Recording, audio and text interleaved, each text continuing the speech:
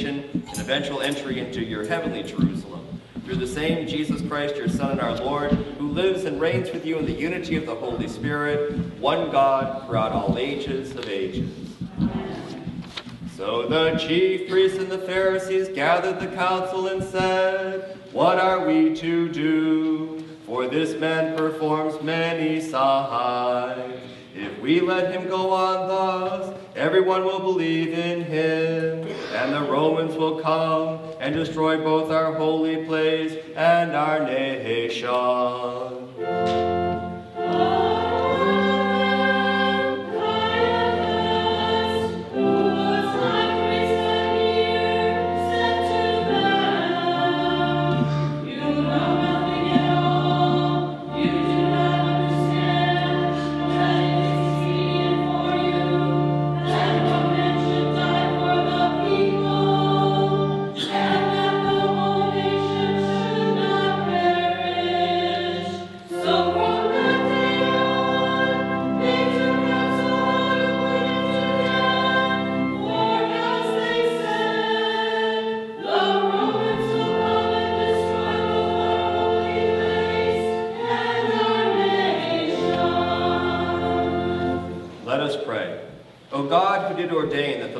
Multitude of Israel's believing people should honor with a tumultuous joy the Savior before his sacred passion, and it inspired the crowd to spread branches of palm in the way, and to sing Hosanna in his praise, grant that we, bearing these palms, the symbol of victory over evil, that we may go forth to wage incessant war against the forces of evil, depravity, and falsehood, and so guided through life in the way of your light, truth, and justice, we may enter into everlasting glory.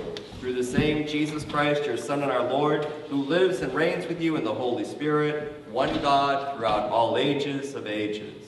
Amen. Let us pray. Increase, O God, the faith of those who put their trust in you, and grant that strengthened in their love of you, they will never suffer disappointment. May these branches of palm, which we, your servants, are about to receive and carry in commemoration of a solemn and sacred day in the life of Jesus Christ, inspire us to turn our eyes heavenward to your heavenly Jerusalem. Bless, O Lord, these branches of palm, as you did choose Noah to be the new father of the human race, Moses to be the leader of Israel's people, and Jesus Christ to be the Savior of us all. Grant, we beseech you, that contemplating the wonderful ways of your providence, we may fervently unite our wills with your holy will in the work of our sanctification and salvation. Through the same Jesus Christ, your Son and our Lord, who lives and reigns with you in the unity of the Holy Spirit, one God, throughout ages of ages. Amen.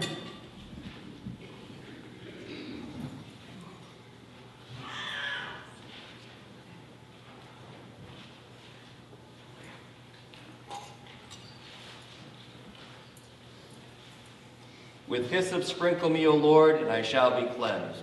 Wash me, and I shall be made whiter than snow. May my prayer before you be counted as incense, and the lifting up of my hands as an evening sacrifice.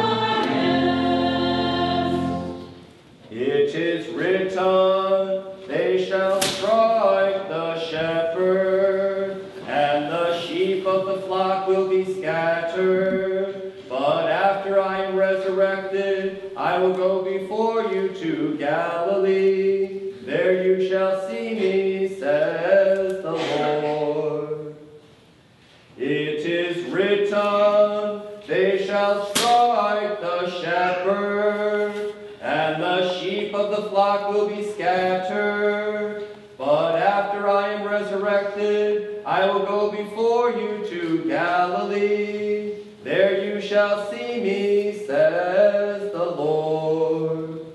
It is written, they shall strike the shepherd, and the sheep of the flock will be scattered.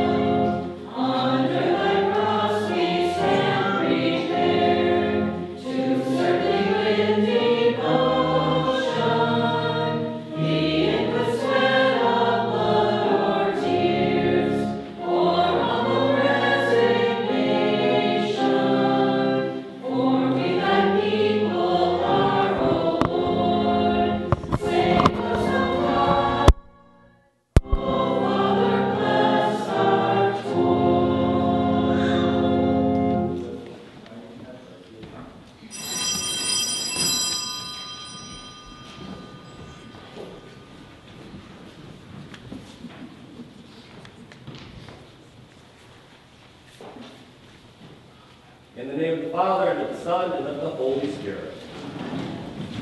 Lord, bless us with the wisdom to praise you in spirit and in truth, so that by following your holy will, we may gain eternal salvation. So we have entered into Holy Week with this morning's liturgy. Uh, the palms, which were used on Palm Sunday, were at first a symbol of honor, and uh, the people welcoming Jesus, they thought he was going to be a triumphant, powerful earthly leader, and uh, they, they, they sang to him, Hosanna to the Son of David. Uh, he was the Messiah, the Savior. Uh, when they came to find out during the week that Jesus wasn't going to be who they wanted him to be, um, instead of them changing to be more like God expected, they expected God to change to be like us. And so their cries of Hosanna changed quickly to cries of crucify him. And then in one of the most powerful acts that I get to do as a celebrant of the liturgy is I take those palms that were just a few moments ago used to honor Jesus. I take those palms and I strike Jesus on the cross. Um, and, and that's that, that powerful minute. You know, we do so much to honor all of these images of Jesus, and then you do that and you strike Jesus on the floor. Um, it just, it's powerful for me, and I hope it's powerful for you. And, and liturgy is supposed to not only touch you in the mind, it's supposed to touch you in the, the soul, the gut, and the heart, and it's supposed to help you feel all of these events that we remember. Uh, so as we do enter into Holy Week with today's Liturgy of Palm Sunday, I ask you at this time to please make a private examination of your conscience.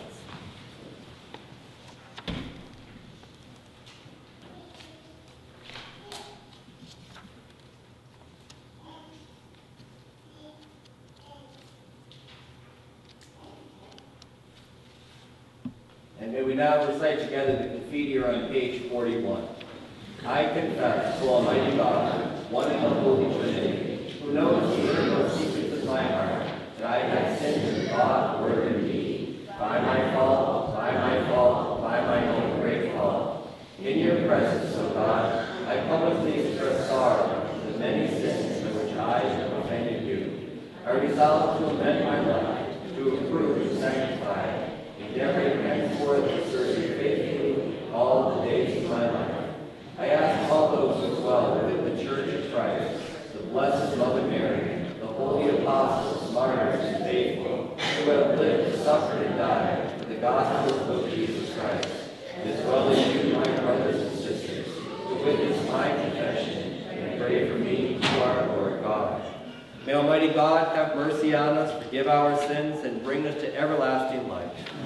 May the Almighty and merciful Lord grant us pardon, absolution, and remission of our sins. May our Lord Jesus Christ absolve you, and with his authority vested in me, I absolve you from all your sins, in the name of the Father, and of the Son, and of the Holy Spirit. Show us your mercy, Lord. Lord, hear our prayer. The Lord be with you. Let us pray. Grant, most gracious Father, that of purity of heart we may worthily fulfill this holy action, established in remembrance of the Last Supper and the death of Jesus Christ, and for our sanctification and salvation. Be present among us, Jesus, our most perfect Master, because you said there were two or three are gathered together in my name, you are among them. We also ask, Lord, that through this holy liturgy we may experience a spiritual revival and a better understanding of your holy will, bringing us together in one great family, guided by your commandments and by love, truth, and justice. And may we say together, let us praise the Holy Trinity, Father, Son, and Holy Spirit, one God indivisible, revealed in triune power for all time, now and forever.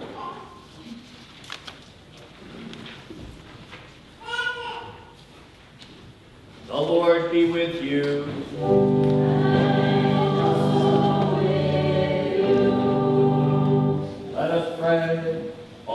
God, Father of our Lord Jesus Christ, you have given your Son as the Savior of the entire human race, and also a model for our humility.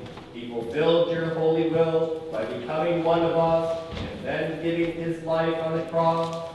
Guide our minds by his truth, and strengthen our lives by the example of his death, that we may live in union with you in the new heavenly Jerusalem. We ask it through the same Jesus Christ, your Son, lives and reigns with you in the Holy Spirit, one God forever and ever.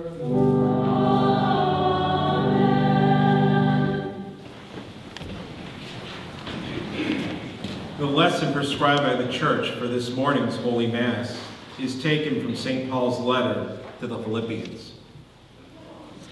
Your attitude must be that of Christ. Though he was in the form of God, he did not deem equality with God something to be grasped at. Rather, he emptied himself and took the form of a slave, being born in the likeness of men.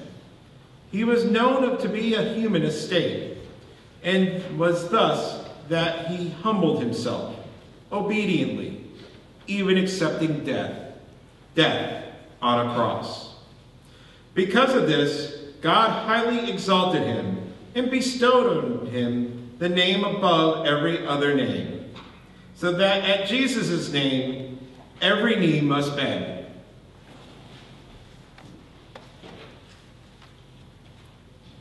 In the heavens, on the earth, and under the earth, and every tongue proclaimed, to the glory of God the Father, Jesus Christ is Lord. This is the word of the Lord. Thanks be God. The chief priests and Pharisees gathered to the council and said, What are we to do? For this man performs many signs.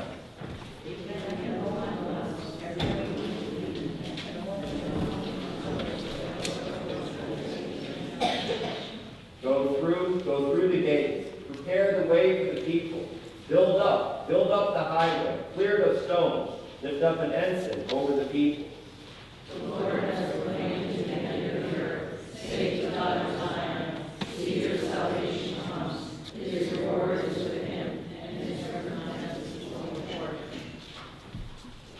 Cleanse my heart and my lips, Almighty God. You cleanse the lips of the prophet Isaiah with a burning coal. In your mercy, cleanse me so I may worthily proclaim your holy gospel through Christ our Lord. Amen.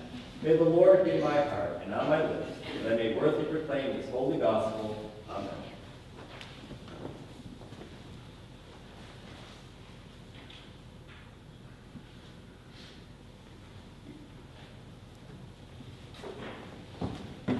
The Lord be with you. with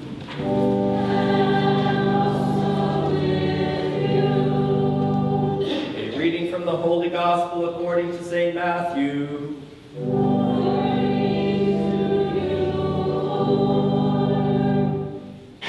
And you may be seated. Um, if you've been in church over the past few Sundays, as we get closer and closer towards the, uh, the Holy Week, the Gospels get longer and longer, and they culminate with this, the reading of the Passion, which is just about two full chapters long. And uh, so I'd much rather have you pay attention to this narrative um, instead of worrying about how uncomfortable it is to stand for that length of time.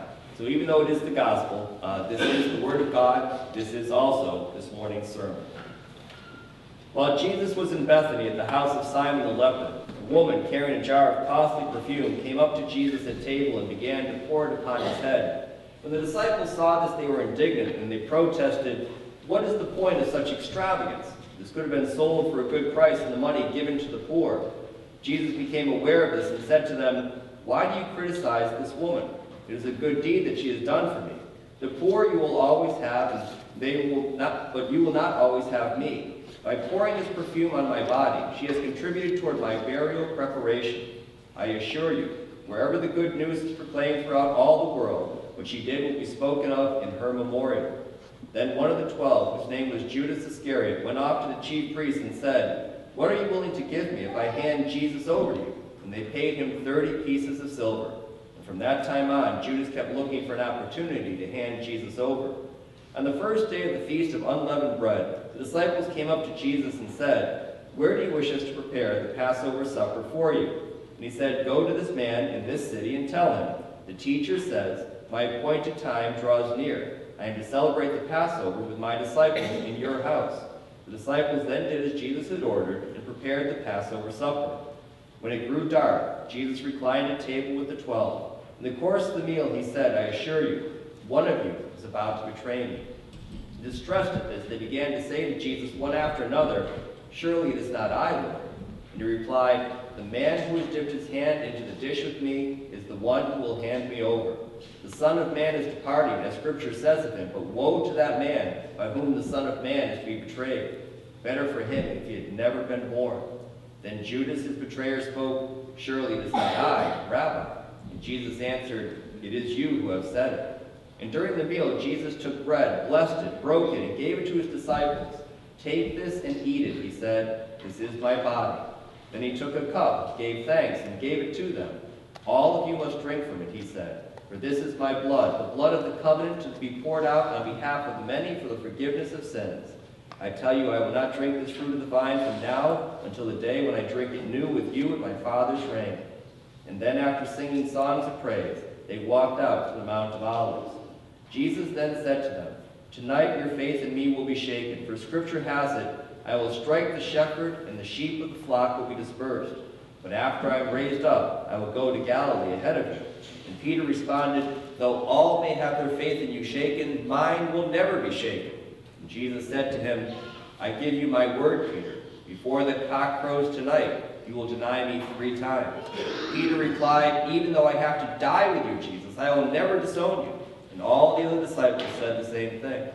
Then Jesus went with them to a place called Gethsemane. He said to his disciples, Stay here while I go over there and pray. He took along Peter and Zebedee's two sons and began to experience sorrow and distress. And then he said to them, My heart is nearly broken with sorrow. Remain here and stay awake with me. He advanced a little and fell prostrate in prayer. My Father, if it is possible, let this cup pass me by. Still, let it be as you would have, and not as I.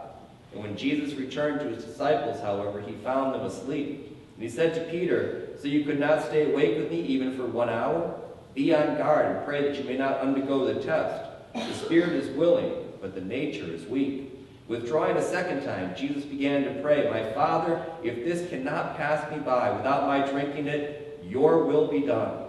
Once more on his return, he found them asleep. They could not keep their eyes open. He left them again, withdrew somewhat, and began to pray now a third time, saying the same words as before. And finally he returned to his disciples and said to them, Sleep on now. Enjoy your rest. The hour is upon us when the Son of Man is to be handed over to the power of evil people. Get up. Let us be on our way. See, my betrayer is here. While he was still speaking, Judas, one of the twelve, arrived, accompanied by a great crowd with swords and clubs. They had been sent by the chief priests and the elders of the people. His betrayer had arranged to give them a signal, saying, The one I shall embrace is the one. Take hold of him. He immediately went over to Jesus and said to him, Peace, Rabbi. And he embraced Jesus. Jesus answered, Friend, do what you are here for. At that moment, they stepped forward to lay hands on Jesus and arrest him. Suddenly, one of those who accompanied Jesus put his hand to his sword, drew it, and slashed the high priest's servant, cutting off his ear. Jesus said to him, Put back your sword, where it belongs. Those who use the sword are sooner or later destroyed by the sword. Do you not suppose I can call my Father provide at a moment's notice more than twelve legions of angels? But then how would the scripture be fulfilled, which say that it must happen this way? At that very time, Jesus said to the crowd, Am I a brigand that you have come armed with swords and clubs to arrest me? From day to day I sat teaching in the temple and the precincts, yet you never arrested me there. Nonetheless, all this has happened in fulfillment of the writings of the prophets. And then all the disciples, they all deserted him. They all fled. And those who had apprehended Jesus led him off to Caiaphas, the high priest, where the scribes and the elders were convened. And Peter kept following at a distance as far as the high priest's residence. Going inside, he sat down with the guards to see the outcome. The chief priests with the whole Sanhedrin were busy trying to obtain false testimony against Jesus so they may put him to death. They discovered none despite the many false witnesses who took the stand. Finally, two came forward who said, This man has declared, I can destroy God's sanctuary and I can rebuild it in three days. The high priest rose to his feet and addressed him. Have you no answer to testimony leveled against you? But Jesus remained silent. The high priest then said to him, I order you to tell us under oath before the living God whether you are the Messiah, the Son of God. Jesus answered, It is you who say it, but I tell you this. Soon you will see the Son of Man seated at the right hand of the power of God and coming on the clouds of heaven. At this the high priest tore his robes. He has blasphemed. What further need have we of witnesses? Remember, you heard the blasphemy. What is your verdict? And they answered, He deserves death. And then they began to spit on Jesus and they began to hit him. Others slapped him, saying, Play the prophet for us, Messiah. Who is it that struck you? Peter was sitting in the courtyard when one of the serving girls came over to him and said, You too were with Jesus the Galilean. He denied it in front of everyone. I do not know what you are talking about, said Peter. When he went out to the gate, another girl said to him, and all those around him, This man was with Jesus the Nazarene. Again, Peter denied it with an oath. I do not know the man. A little while later, some bystanders came over to Peter and said, You are certainly one of them. Even your accent gives you away. At that, Peter began cursing, and he swore, I do not even know this man. Just then a cock began to crow, and Peter remembered the prediction Jesus had made. Before the cock crows, you will deny me three times. He went out, and he wept bitterly. At daybreak, all the chief priests and the elders of the people took formal action against Jesus to put him to death. They bound him and led him away to be handed over to the procurator Pilate. Then Judas, who had been handed over, then Judas, who had handed him over, seeing that Jesus had been condemned, began to regret his action deeply. He took the thirty pieces of silver back to the chief priests and the elders, and he said, I did wrong to deliver up this innocent man. They retorted, What is that to us? It is your affair. So Ju- Judas flung the money into the temple and he left. He went off and he hanged himself. The chief priest picked up the silver, observing it is not right to deposit this in the temple treasury since it is blood money. And after consultation, they used it to buy the potter's field as a cemetery for foreigners. That is why that field even today is called Blood Field. On that occasion, what was said through Jeremiah the prophet was fulfilled. They took the 30 pieces of silver, the value of a man with a price on his head, a price set by the Israelites. They paid it out for the potter's field, just as the Lord had commanded. And Jesus was arraigned before the procurator, who questioned him, Are you the king of the Jews? Jesus responded, As you say. Yet when he was accused by the chief priests and the elders, he made no reply. Then Pilate said to him, Surely you hear how many charges they bring against you. He did not answer him on a single count, much to the procurator's surprise. Now, on the occasion of a festival, the procurator was accustomed to release one prisoner whom the crowd would designate. They had at that time a notorious prisoner named Barabbas. Since they were already assembled, Pilate said to them, Which one do you wish me to release for you, Barabbas or Jesus, the so-called Messiah? He knew, of course, that it was out of jealousy that they had handed Jesus over. While he was still presiding on the bench, his wife sent him a message. Do not interfere in the case of that holy man. I had a dream about him today, which has greatly distressed me. Meanwhile, the chief priests and the elders convinced the crowds that they should ask for Barabbas and have Jesus put to death. So when the procurator asked them, Which one do you wish me to release for you? They said, Barabbas. And Pilate said to him, Then what am I to do with Jesus, the so-called Messiah? Crucify him, they all cried.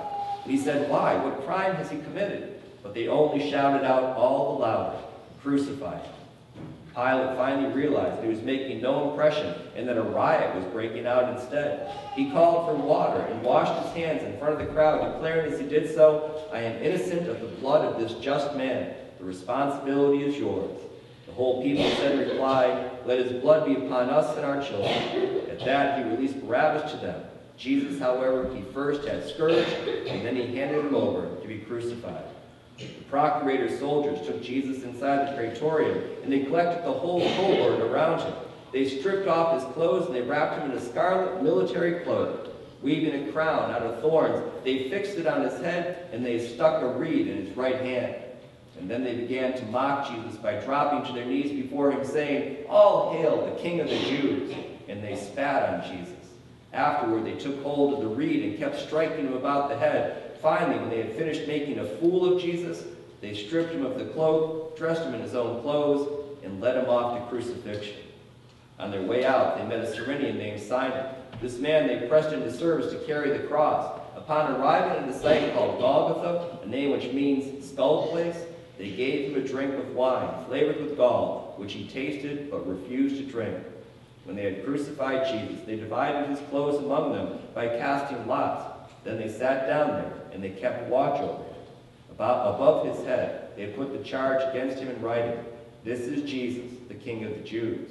Two insurgents were crucified along with him, one at his right and one at his left. People kept going by and insulting Jesus, tossing their heads and saying, So you are the one who is going to destroy the temple and rebuild it in three days? Then save yourself, why don't you? Come down off that cross if you are God's son. The chief priests and the scribes, the elders, they all joined in jeering, and they said, He saved others, but he cannot save himself. And so he is the king of Israel? Let's see him come down from that cross, and then we'll believe in him. He relied on God. Well, let God rescue him now if he wants to. After all, he claimed, I am God's son. Then the insurgents who had been crucified with Jesus kept taunting him in the exact same way. From noon onwards, there was darkness over the whole land until mid-afternoon. Then toward mid-afternoon, Jesus cried out in a loud tone, Eli, Eli, lama sabachthani. That is, my God, my God, why have you forsaken me? This made some of the bystanders who heard it remark, he is invoking Elijah. Immediately, one of them ran off and got a sponge. He soaked it in cheap wine and sticking it on a reed, tried to make Jesus drink. Meanwhile, the rest said, Leave him alone. Let's see whether Elijah comes to his rescue. Once again, Jesus cried out in a loud voice, and then he gave up his spirit. Suddenly, the curtain of the sanctuary was torn in two from top to bottom. The earth quaked, boulders split, tombs opened. Many bodies of the saints who had fallen asleep were raised. After Jesus' resurrection, they came forth from the tombs, and they entered into the holy city and appeared to many.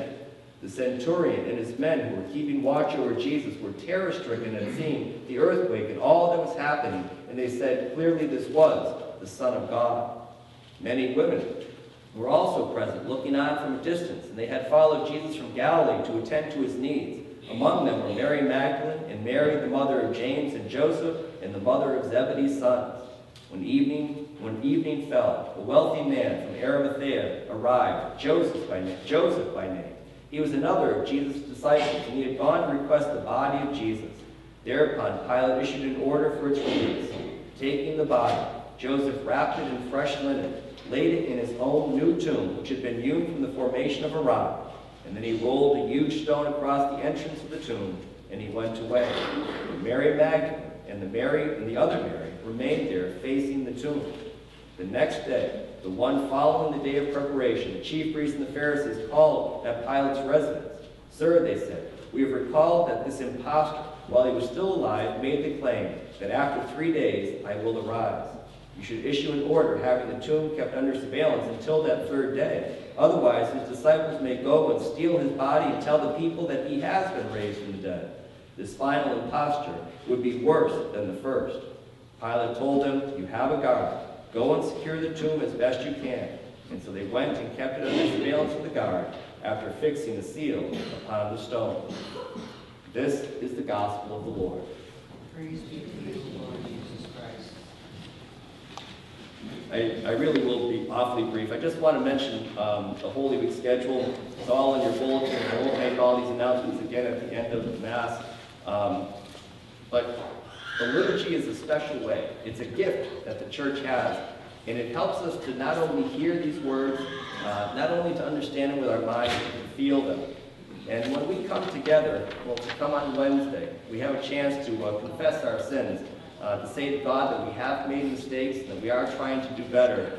And that preparation then gets us ready for Thursday, Friday, even Saturday, and most especially Sunday. So on Thursday, the liturgy begins at 6 p.m. And uh, the Jewish people, as we just read, would gather in the evening. They'd have Jesus had his Last Supper. And at that Last Supper, he said, This is my body, this is my blood. And we'll have a celebratory Mass of that. Uh, but then at the end of Mass, we begin uh, the first part of benediction. That benediction is not completed until the end of Mass on Sunday, Easter Sunday. So from Thursday till Sunday, there's really one extended liturgy. And so the celebration of this is my body, this is my blood, is also the night on which Jesus is betrayed, handed over to the hand of his enemies, and that's when the uh, passion begins. And so the Blessed Sacrament is taken from here. We take a solemn procession, we bring it here to the altar of repose, and then all of this, this area here. Um, as I said, we, we struck Jesus, which is a, is a weird feeling. Uh, but then we come here, we knock candles on this side, we, we dishevel the altar linens, we leave the tabernacle door open, and then I think it was Katrina, I told her she's got the job of turning off the eternal light that says that Jesus has died. And she kind of freaked out a little bit. She really did not want to be the one who turned out the light um, that symbolizes Jesus' life and his presence. Uh, but the sanctuary grows dark, and Jesus' only presence is here.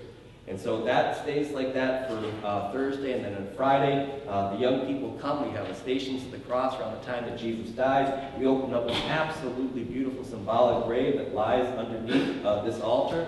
And then we have the Mass of the Pre-Sanctified, which if you've never seen it, I cannot explain it. it. It's just, it's a, it's, a, it's a strange liturgy in a darkened church, in a quiet church. And uh, it really helps you to understand um, that Jesus, the Son of God, died. Um, and so on Good Friday, even if you cannot come to church, I hope you can, but if you can't, please treat that day as the day that Jesus died.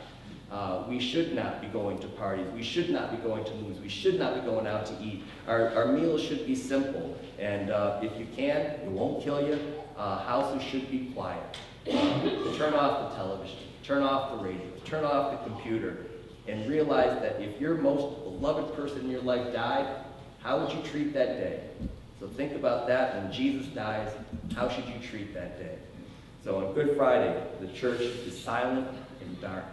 And then on Holy Saturday, as we read, Jesus had promised after three days he'll arise. We believe that promise, and so the church begins preparations for Easter. We bring new light into the church, new water, and which is a symbol of life, and we also read the prophecies of new beginnings. And so that takes place on Holy Saturday morning, and then we come back on Sunday and we announce that glorious mystery that the women went out to the tomb and he wasn't there. And so that's all taking place this week. It is Holy Week, and it is one of the most special times in the year, and I hope that you make the time to make it special in your lives as well. Uh, Jesus loves us so much, it's the least we can do. In his name we pray. Amen. In the Father, the Son, and the Holy Spirit. Amen.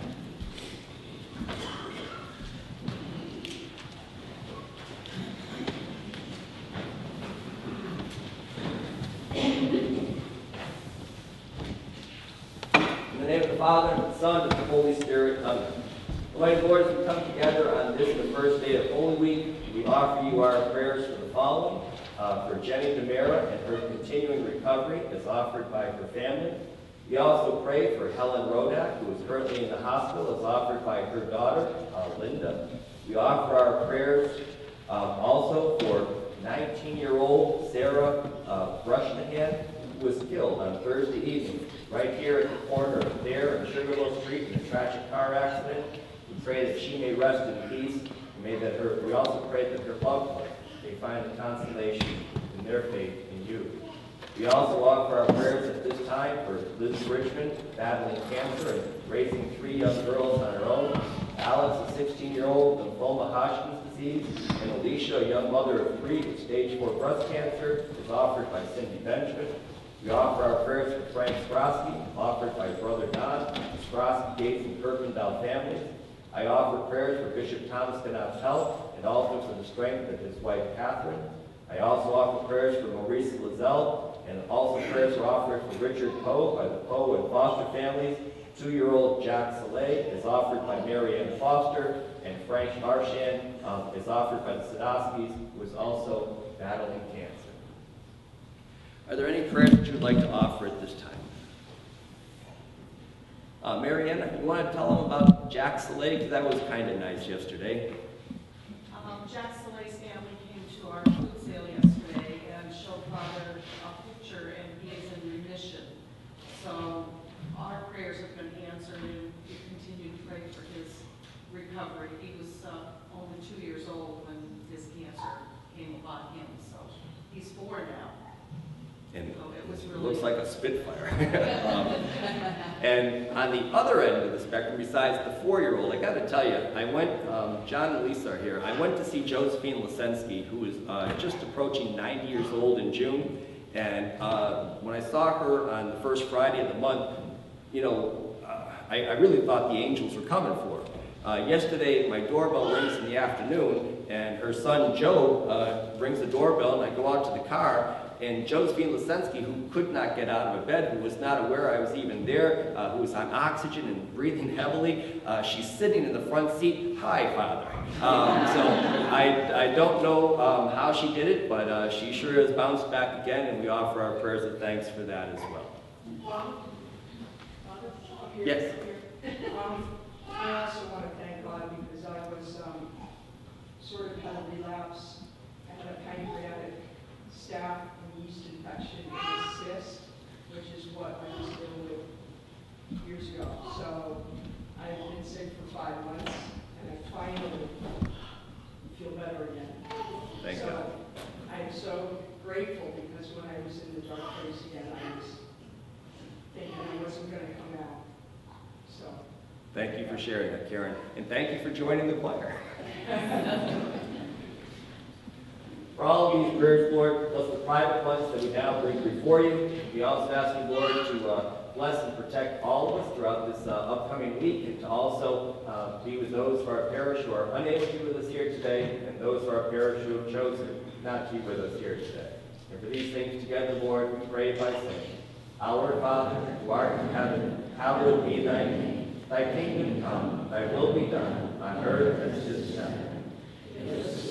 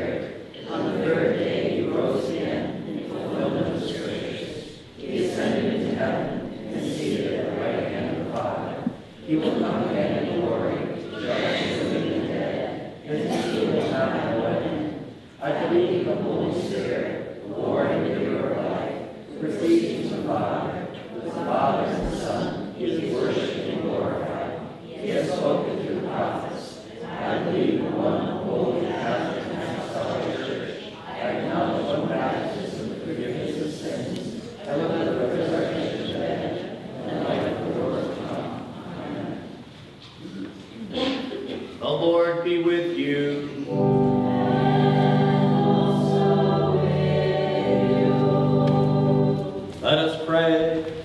Insult has broken my heart, and I am weak. I looked for sympathy, but there was none. For comforters, and I found none. Rather, they put gall in my food, and for my thirst, they gave me vinegar to drink.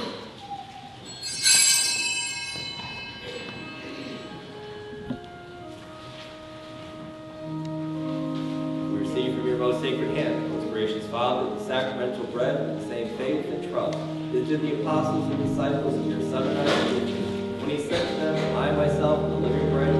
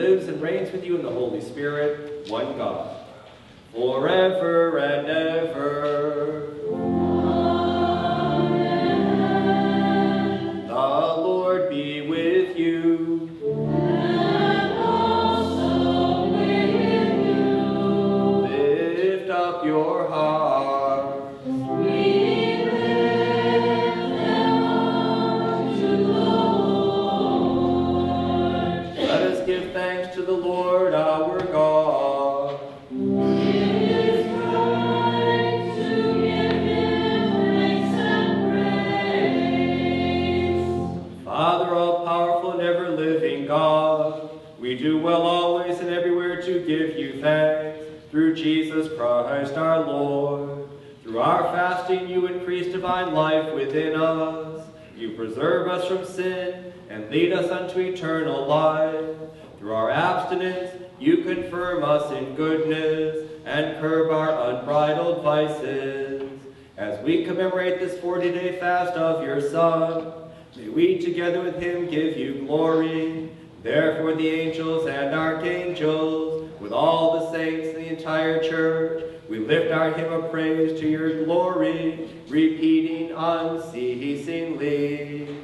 Holy, holy, holy, God of power and might, heaven and earth are full of your glory.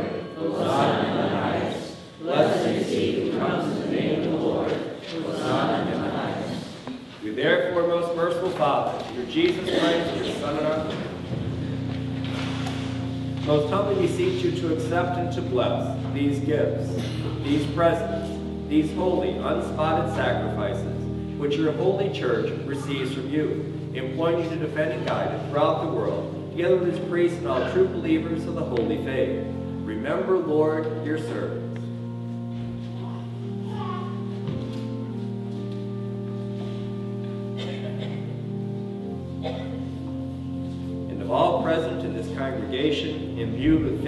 Your holy care, your rule and fatherly love. Wholeheartedly this day, unite in spirit with all of them, with the most blessed Mother Mary, Mother of Jesus Christ, likewise his apostles with all the countless hosts of martyrs and confessors, who lived, labored, and suffered for the same holy cause which Jesus Christ sacrificed his life and his most precious blood. Just as they believed, professed, united with you through prayer and this immaculate oblation, which you have instituted from the beginning of the world, and in time have fulfilled through Jesus Christ, and gave it to humanity as a pledge of eternal salvation.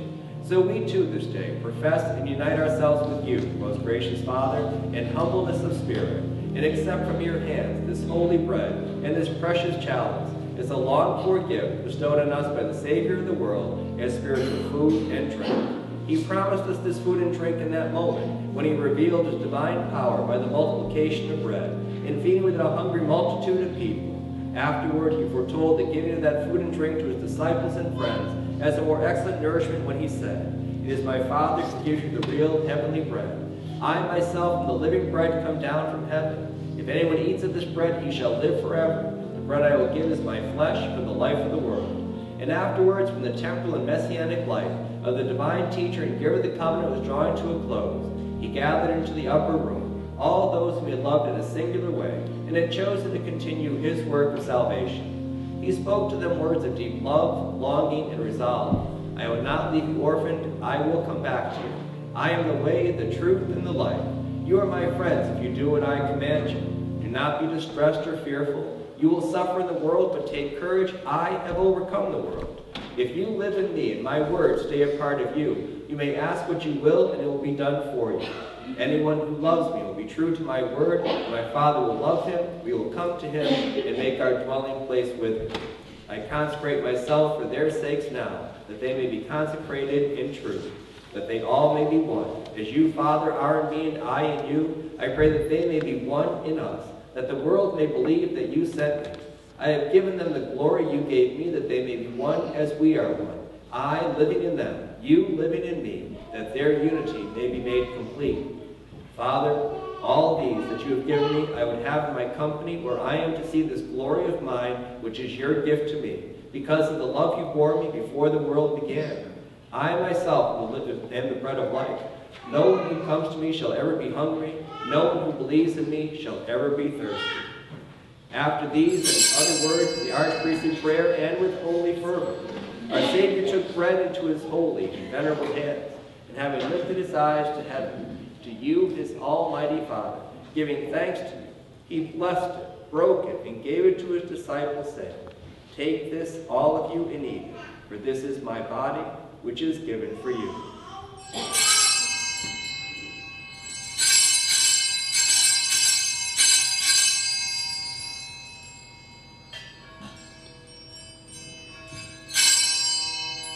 Like manner after supper, taking this excellent chalice into his holy and venerable hands, again he gave thanks to you, blessed it, and gave it to his disciples, saying, Take this, all of you, and drink from it.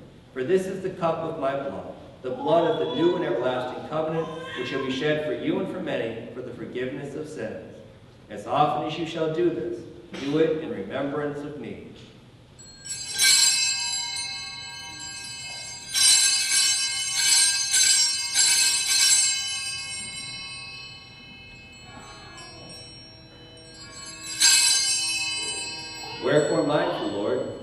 Servants and your faithful people, in remembrance of this Christ, your Son and our Lord, as well as his blessed passion, resurrection, and his glorious ascension, we receive from your own gifts and presents a pure offering, a holy offering, an immaculate offering, the holy bread of eternal life, and the chalice of everlasting salvation. These gifts we receive with a joyful countenance, as from him who is the giver of all temporal and eternal good gifts, and with an unshakable faith they will become for our souls a saving remedy.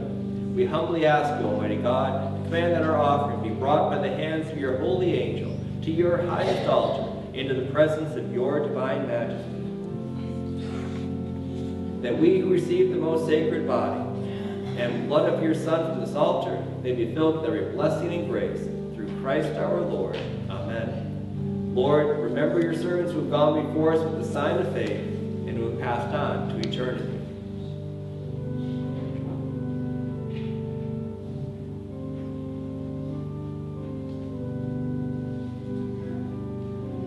Souls, Lord, and to all who rest in Christ, grant everlasting life. And to those during life strayed from the path of righteousness, unmindful of your fatherly love, mercifully shorten their suffering. We ask this in the name of your beloved Son, Jesus Christ our Lord. Amen. And grant us, your sinful servants, who hope in the greatness of your mercy, some part in fellowship with your holy apostles and martyrs, and all your saints, who shed their blood for your name. Their hearts are always open to justice and mercy, and with lives patterned after their divine master, merited eternal joy. Number us in their company, Lord, not weighing our merits, but pardoning our offenses, through Jesus Christ our Lord. Amen. By whom you always create, sanctify, revive, bless, and freely give us all these good things. Through him, and with him, and in him, all honor and glory are yours, Almighty Father, in the unity of the Holy Spirit.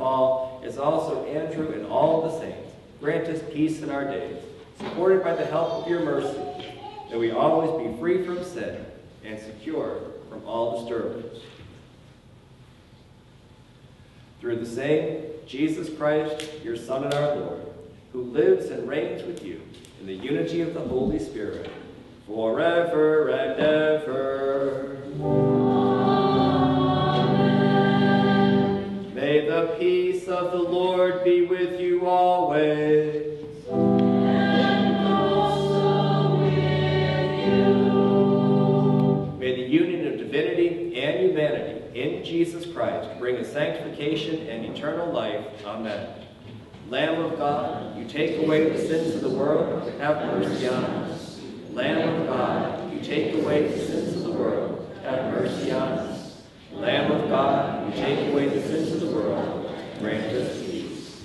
Lord Jesus Christ, you said to your apostles, I leave you peace, my peace I give you. Do not look at our sins, but uh, on the faith of your church, and grant us the peace and unity of your kingdom, you live and reign forever and ever. Amen. Lord Jesus Christ, Son of the living God, by the will of the Father and the work of the Holy Spirit, your death brought life to the world. By your holy body and blood, free me from all my sins and from every evil. Keep me faithful to your teaching, and never let me be parted from you, who lives and reigns forever and ever. Amen. May the partaking of your body and blood, Lord Jesus, not be cause for my judgment. Though I am unworthy to receive this great sacrament, through your loving kindness may become my safeguard and healing remedy. My saving Master, awaken in me a living faith, fervent love, worship, adoration, and a holy longing. Through this communion, make me your willing servant, zealous to fulfill your holy will. May it last unite me entirely with you, my Lord and my God. Grant this who lives, reigns with God the Father, in the unity of the Holy Spirit, forever and ever. Amen. I will take the bread of heaven, and I will call upon the name of the Lord. Lord, I am not worthy to receive you, but only say the word, and I shall be healed. May the body of our Lord Jesus Christ bring me to everlasting life. Amen.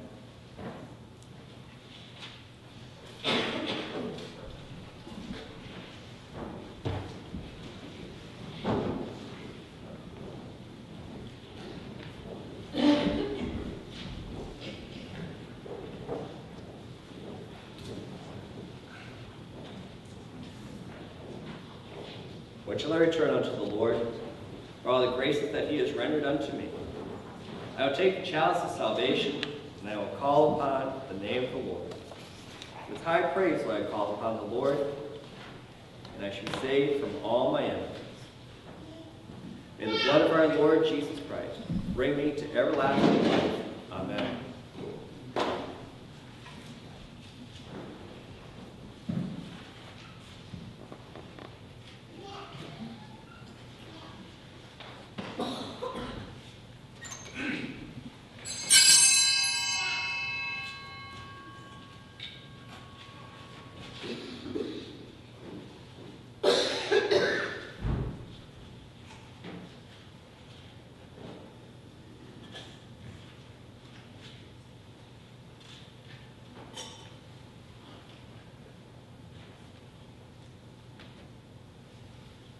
Behold the Lamb of God who takes away the sins of the world.